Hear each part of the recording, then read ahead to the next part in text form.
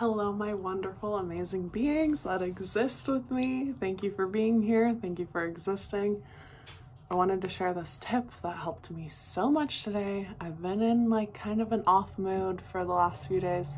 Don't exactly know why, what caused it. Sometimes it happens, it's human.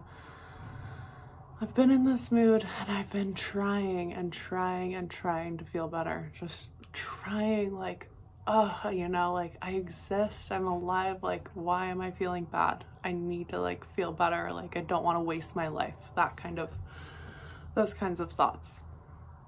Um, just kind of a weird mood. Didn't know why, wanted it to be done.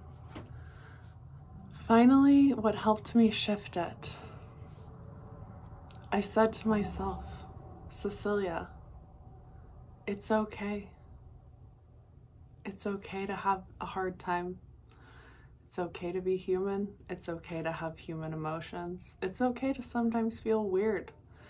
It's okay that you might need some extra dessert right now. It's okay. And speaking to myself like that, I no longer feel in that weird mood. it dissolved it. So please, if you are working through something or you're in this weird mood and you don't know why, try that. Try it with me right now. Say to yourself, it's okay.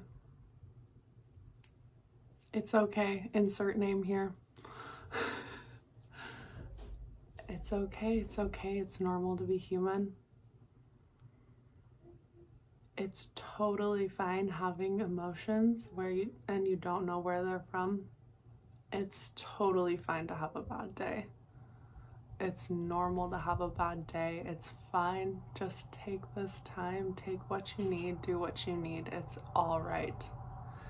You're allowed to have a hard day. You are allowed to feel sad. You are allowed to feel angry. You are allowed to feel weird and off, it's okay. So,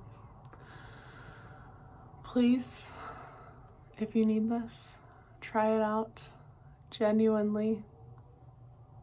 Just speak to yourself that way and see what happens. I love you so much. I hope you have a great day being human, and I hope you recognize and appreciate your humanness. Bye.